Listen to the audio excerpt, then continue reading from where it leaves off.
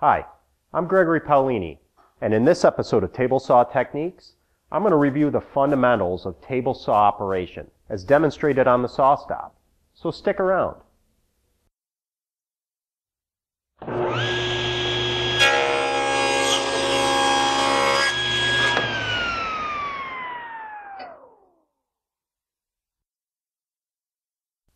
A table saw, like any other tool, is only as effective as the person operating it. And when you combine a great table saw, like a SawStop, with a skilled operator, you've got a winning combination. So today, I'm going to review the fundamentals of safe table saw operation using the SawStop. First, let's look at some basics.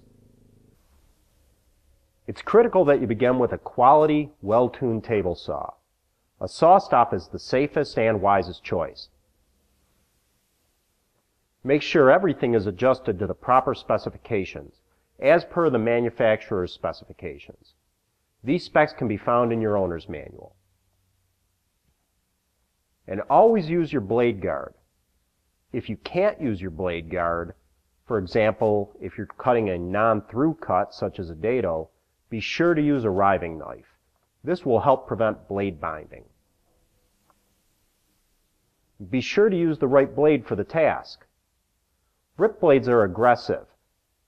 They're designed for ripping with the grain of the wood. Crosscut blades are finer, designed to cut across the grain or to be used on plywood. A combination blade is good at both. Let's take a look at basic safety. Be sure you don't have any loose clothing. If you have long sleeves, you might want to roll them up out of the way. Always make sure you use personal protective equipment, safety glasses, and ear protection.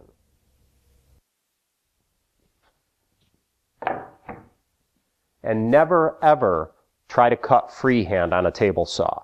You always need to guide and control your work somehow, either with a fence, a miter gauge, a crosscut sled, or some sort of dedicated jig or fixture that will hold and control the workpiece.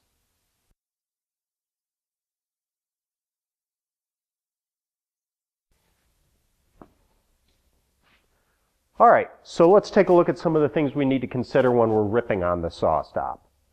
And I've already got a rip blade installed in the saw, so we're all set there. It's tuned, the fence is adjusted and calibrated, so we're good there. But let's take a look at the wood. Now, this is what they would consider S3S lumber. So, which basically means it's been surfaced on three sides. I've got a flat top, flat bottom face, and I have one straight edge.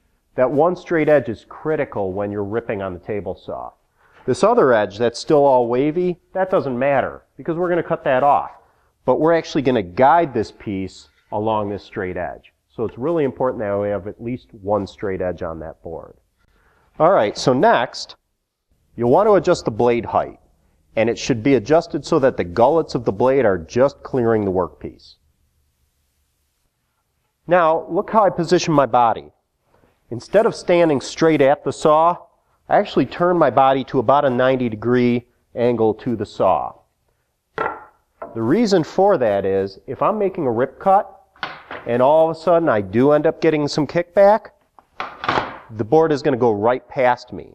If I'm standing right behind the board, it's going to go into me. I'm going to have a bad day. I use my left hand to keep the board on the deck of the table saw and also up against the fence. That's all my left hand does. I plant it on the table. It never ever moves. My right hand just pushes the board. That's it. I want to make sure that I don't exert any downward pressure, which would lift up the front of the board, and I don't want to lift. I just want to maintain the height of that board. My, my only motion here should be straightforward to push the board past the blade just like that. When the board is fully supported on the table saw, I can grab the push stick, follow right through.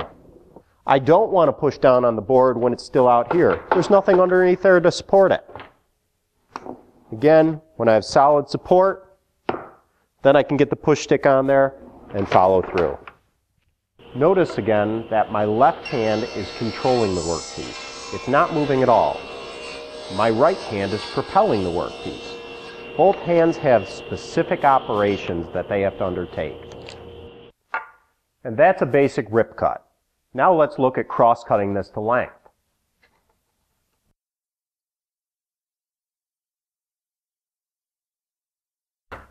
So to cross-cut these pieces to length, I'm going to use the miter gauge. This is the stock miter gauge that comes with the SawStop. And I've just added an extra piece of wood on the front of it. This provides a little extra length and stability. It's absolutely fine to do that. And I've got the crosscut blade installed in the saw. And I'm going to raise it so that it, again, the gullets just clear the workpiece. That's all the height I need.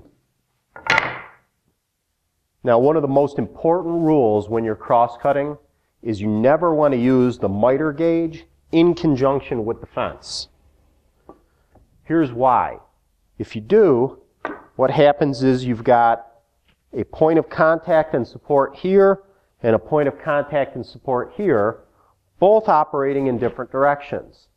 And what could happen is the workpiece, once it's cut, could get trapped in between the spinning blade and the fence, creating a dangerous kickback situation. So we never want to use the fence in conjunction with the miter gauge. If you need consistent length cuts, you don't use the fence, use a stop block. And this one may look archaic, but it's very safe and it's very consistent.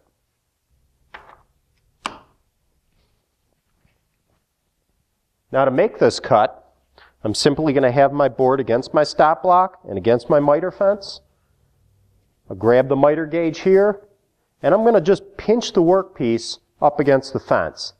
And I could do this cut with the blade guard on, except I want you to see the stop block, the miter fence, so I'm removing it strictly for clarity, just so that you can see everything that I'm doing here.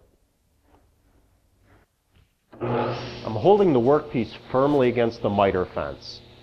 I push forward and I pull straight back.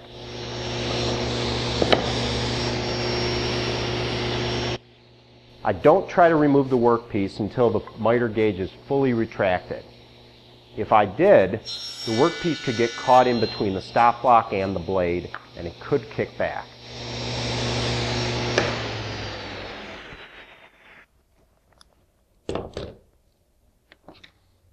So I've got two pieces, exactly the same length, due to my archaic stop block.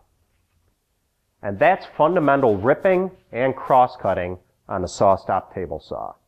Be sure to join me again for another episode of Table Saw Techniques.